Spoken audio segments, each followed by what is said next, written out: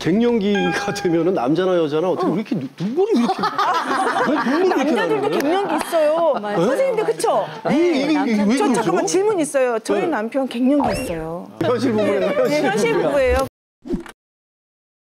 제가 오늘은 여성 호르몬을 깨우치고 청춘으로 돌아온 증인 이호 인성입니다. 나이가 벌써 그렇게 됐나요?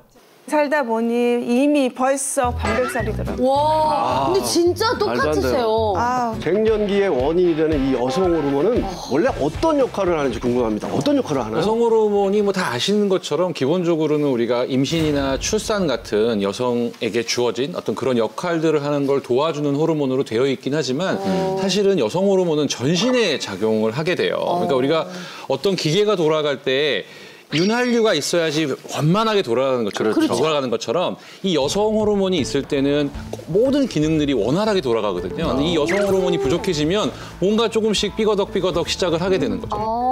그래서 여성 호르몬이 감소하는 이 갱년기를 잘 이겨내는 게 무엇보다 중요합니다. 이 여성 호르몬의 변화를 보면요. 35세부터 급격히 감소를 해서 40대 후반이 되면 여성 호르몬이 거의 바닥이 난다고 할 수가 있어요. 이때는 저 여성 호르몬이 줄어들면요. 다양한 신체적, 심리적, 정서적 변화들이 생기는데요. 어, 우선 가장 많은 게 체온 조절 중추가 망가지면서 안면 홍조 아, 확 달아오르죠. 발한이 일어나기도 하고요.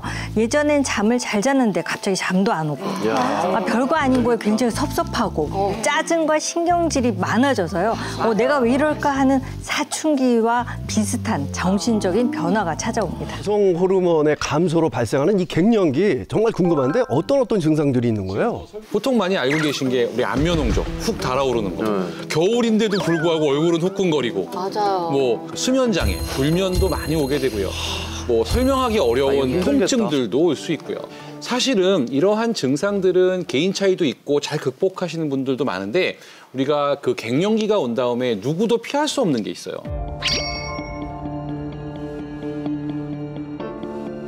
바로 심혈관 질환입니다. 와, 심혈관 질환까지 맞아요. 와요?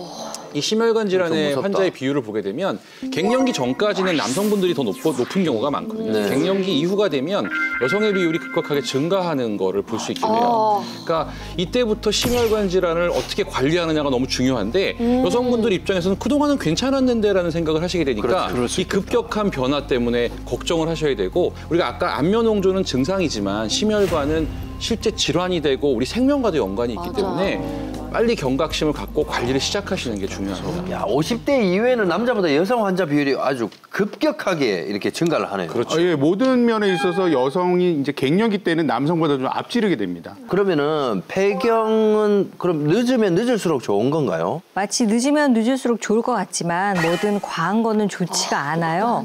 이 중년 여성의 90%가 44세에서 55세 사이에 폐경을 겪게 됩니다.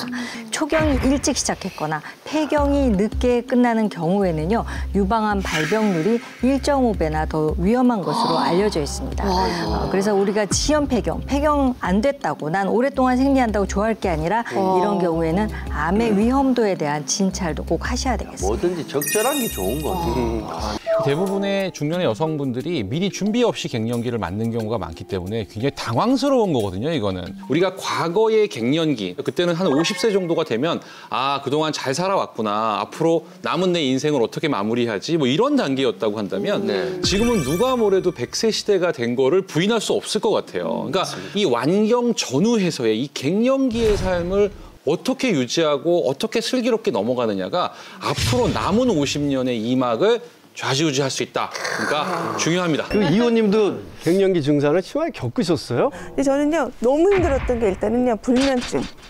불면증이고 더운데요 그냥 더운 게 아니라 여름 딱 더워 이게 아니라 타 들어가는 더위예요. 목막 목이 타고 온몸이 타 들어가는 더움. 이 더움이 오고 한몇 초 간격으로 오한이 와요. 어머, 아, 뭐야. 예, 추웠다가 좀 며칠 있다가 또 더워. 그럼 막 발, 입을 걷어쳤다가 좀 있다 너무 추워. 근데 제가요 이것 때문에 잠을 못 자니까요 감정 굴복이 너무 심해지고 어떤 일이 있었, 있었 냐면요 그냥 우리 아이랑 같이 놀고 뭐 TV도 재밌게 잘 봐요. 근데 이유 없이 눈물이 나요. 아니 근데 그 갱년기가 되면은 남자나 여자나 어떻게 왜 이렇게 눈- 눈물이 이렇게 왜 눈물이 이렇게 남자들도 거예요? 갱년기 있어요. 선생님들 그쵸? 이게 이게 이게 왜 저? 잠깐만 질문 있어요. 저희 네. 남편 갱년기 있어요. 왜냐면 누구나 다 제가 갱년기 있어요. 때문에 막 버럭하려고 그러는데 저희 남편이 저보다 한술 더 버럭하시더라고요. 그래서 제가 그냥 깨갱 하면서 속으로 "헉, 어머 우리 남편 갱년기인가 보다. 근데 여자도 갱년기 오고 남자도 갱년기 오면은 동, 동시에 오면 그것도 골치가 아프겠네. 아니 자리를 그때 피하면 돼요. 자리를 피하세요.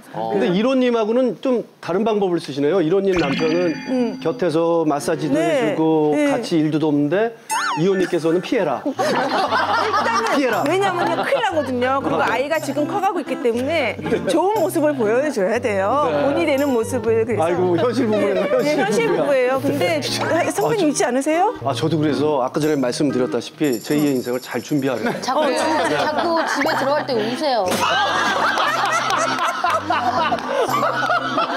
사실 남자들은 남성 호르몬이 줄어들면서 상대적으로 여성 호르몬의 비율이 많아지니까 눈물도 많아지고 여성스러워지는 것도 있고요. 이 여성 호르몬인 에스트로겐의 감소는요, 감정을 조절하는 우리 신경 전달 물질 중에 행복 호르몬이라고 하는 세로토닌의 조절을 여성 호르몬이 관여하는데요. 그래서 여성 호르몬이 줄어들면 우울증이 잘 올 수가 있고 또 불면증이나 감정 기복이 굉장히 심해집니다.